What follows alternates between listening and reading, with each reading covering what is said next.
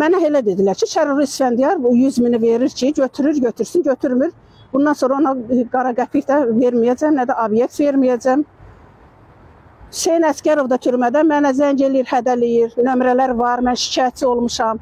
Nömrələrin Ədliyyə Nazirliyinə də göndərmişəm. Bu nömrədən mənə zəng eləyib, məni hədələyir. Vətəndaş Şəmsiyə Qürbətova Ali Məhkəmə qarşısında etiraz edib. Deyir ki, 2017-ci ildə Xırdalan şəhəri Ruhullah Axundov 30 ünvanında 300 kvadrat metr qeyri-yaşayış sahəsi alıb. Əvvəllər aldığı əmlakla bağlı heç bir problem yaşamayacağına dair ona təminat verilsə də, tikinti başqa şirkətlə əl dəyişdirib və aldığı sahənin qeyri-yaşayış yox, yaşayış sahəsi olduğu şəxsinə bildirilib. Məhkəməyə müraciət edən vətəndaş aldığı əmlakının qeyri-yaşayış sahəsi olduğunu sübuta yetirərək qalib gəlib. Onun sözlərinə görə daha sonra tikinti Şərurlu İsfəndiyar kimi tanınan iş adamı İsfəndiyar Axundova verilib. İsfəndiyar Axundovla arasında yaranan mübahisədən sonra isə ona mülkiyyətinin qat-qat aşağı dəyərində məbləğ təklif olunub, əks halda məhkəmə qərarının ləğvinə nail olacaqları bildirilib. Şəmsiyə Qürbətova razılaşmadığı üçün məhkəmənin qərar dəyişdirdiyini, ali məhkəmədə dəfələrlə qəbula yazılsa da müxtəlif bəhanələrlə qəbul edilmədiyini iddia edir. Təfərrüatlar video reportajda. Qurbətova Şəmsiyə Ağaxan qızı 2017-nin noyabrın 30-da Xırdalan şəhəri Ruhullah Axundov küçəsi 30 ünvanında qeyri-yaşayış 300 kvadrat metrlik qeyri-yaşayış sahəsi aldım. Bunu almazdan əvvəl mən ə, korrup dedilər ki, bu işə korrupsiya tikdirir bu binanı. Korrupsiya getmişəm Kamran Əliyevin qəbuluna. Oradan mü- müstəntiq Şəhriyar Məmmədzadə məni arxayın elədi. Yoxladılar. Heç kimə satılmayıb. Heç bir problemi yoxdur. Birinci alıcı da sənsən, sonuncu da sən olacaqsan. Bundan əvvəl də mən 3 dənə mənzil almışdım. Xətai rayon Rahib Məmmədov küçəsində. Hər üç mənzil mənə saxta sənədlərlə, başqasının mənzili mənə satmışdılar. Ona görə də mən məcbur oldum bu sahəni alanda korrupsiya ilə oradakı müstəntiqlə görüşdüm, Kamran Əliyevlə görüşdüm. Dedilər arxayın ol. Mən də bu bunu aldım. Ee, Sonra bina yarımçıq qaldığına görə Əliyevlə. indiki baş prokuror o vaxt e, korrupsiyanın rəisi idi. Bu yaxınlarda da qəbulunda olmuşam. Çox sağ olsun mənə yaxşı köməklik də eləyib. 2 ildən sonra mən məhkə- bura yoxlatdırandan sonra arxayınlaşmadım yenə də. Məhkəməyə verdim. Şirkət verilmişdi Fatih 2012-yə. Onlar da mənə e, bu dedilər ki, burada qeyri-yaşayış sahəsi yoxdur, bu sa e, yaşayış sahəsi olacaq. Buna görə də mən verdim məhkəməyə. Məhkəmədə hakim ekspertlərin rəisi ilə yerində baxış keçirtdilər. Məlum oldu ki, sırf qeyri-yaşayış sahəsidir və mənim xeyrimə qərar çıxartdılar. Üstündən 2 il keçəndən sonra dedilər ki, həmən e, MTK verilib Şərullu İsfəndiyara. Bundan sonra mənim zülmlü günlərim başladı. Düz 6 ildir mən zülmdəyəm. İsfəndiyarın qəbuluna getdim. Mənə dedi ki, sən zərər çəkmişlər siyasətində sənin adın yoxdur. Mən də buna sual verdim. Məni də elə bilir ki, mən avam bir qadınam, məndə səs qaydı var onun. Səs göndərib mənim üstümə. Təhsil almamış şəxsdir, onu heç kim maarifləndirməyib. Nəsə çox söz lazım olsa onun səs qaydını da ataram sizə. Mənə dedi ki, sən zərər çəkmişlər siyasətində sənin adın yoxdur. Get korrupsiya ilə bunu həll elə. Mən də sual verdim, zərər çəkmiş nəyə deyilir? Birincisi budur, mən korrupsiyanın əli ilə bunu almışam.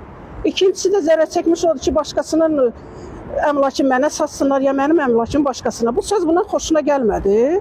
Mənə dedi, "Vəbşi çıx. Mən sənin məhkəmə qərarı ilə ləğv elətdirəcəm." Dediyi kimi də elədi. 2019-cu il qərarımı 2 ildən sonra e, verdi güya müddətin bərpası ilə. O vaxt o direktor olmaya olmaya, nətər onun üstünə məktub gedə bilər? Güya biz məktub almamışıq, məhkəmənin belə qərarı var. Halbuki mən məhkəmədən çıxandan sonra, sənəti sənəti əlimə alandan sonra gedib qəbulunda olmuşam. Düz 2 ildən sonra ora gələndən sonra mənim qərarımı ləğv elətdirdi. Mən də onlar özləri verdi. Müddətin bərpası ilə verdilər Sumqayıt Apellyasiya məhkəməsinə. Məhkəmə mənim ə, Şəmsəddin Abbasov mənim xeyrimə qərar çıxartdı.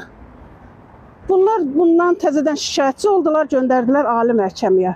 Güya ə, o vaxtki direktor Hüseyn Əskərovun səlahiyyəti çatmır, müqavilə imzalasın. Direktor kimi olmayıb o. Bu vergilərdən də yoxlatdırıblar, sorğu var, işin içində də var. Vəkilim araşdırıb hamısını məhkəmədə də sübut olundu ki, 2018-ci ilin dekabrına qədər orada Əskər Hüseyn e, direktor olub. Bunlar indi əllərində bunu bəhanə tuturlar ki, Hüseynin ixtiyarı yoxdur ki, bu sənət imzalasın.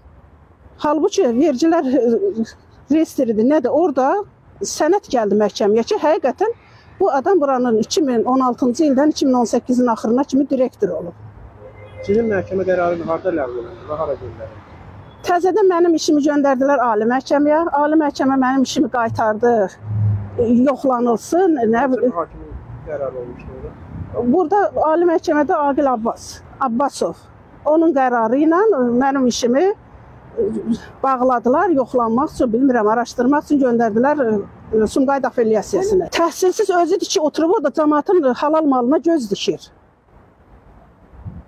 Bu ilin yayında, iyun ayında Hüseyn Əskərovun adamları vasitəsilə, oğlu vasitəsilə, qardaşı vasitəsilə mənə 100 min manat pul təklif elədilər.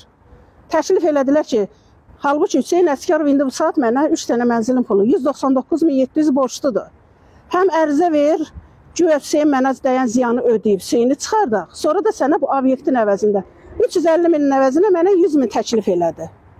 Sözü də bu oldu ki, götürəcəksən, götürəcəksən. Götürməyəcəksən ali məhkəmədə sənin işi geri qaytartdıracaq. Təzədən biz özümüz şikayət verdik. Ali məhkəmədə Ələsgər Əliyevdədir. Hər həftənin birinci günü, beşinci günü mən buradayam. Mənə deyirlər ki, yazmışıq qəbula. İndi də bu, burada aşağıda e, qəbul şöbəsində mənə dedilər ki, Ramiz Rızayevin səlahiyyəti çatmır, ücə 70 yaşı var. Başqa təzə kimi təyin eləsələr, onun qəbuluna düşə bilərsən. O indi Yerlər təyin olunmuyor.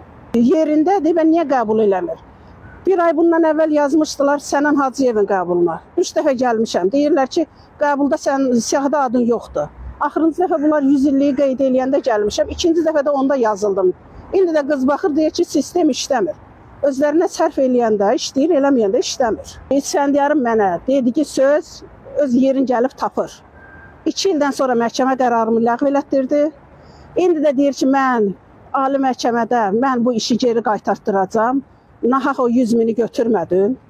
Mən 6 ildir zülmdəyəm. İndi gətirib mənə ə, 100 min pul təklif eləyirlər ki, həm Dələduzu türmədən çıxardım, həm də ki bu obyektin sənətini verim onlara. Mənə elə dedilər ki, Şərur İsfəndiyar bu 100 mini verir ki, götürür, götürsün, götürmür. Bundan sonra ona qara qəpik də verməyəcəm, nə də obyekt verməyəcəm. Hüseyn Əskərov da türmədə mənə zəng eləyir, hədələyir. Nömrələr var, mən şikayətçi olmuşam.